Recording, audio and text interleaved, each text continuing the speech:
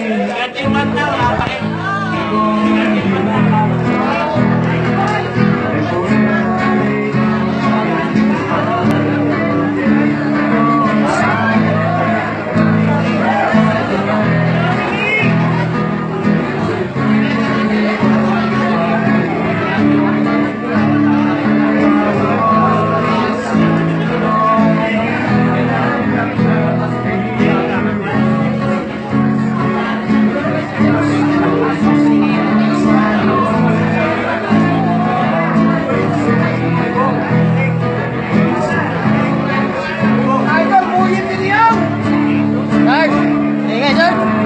Amen.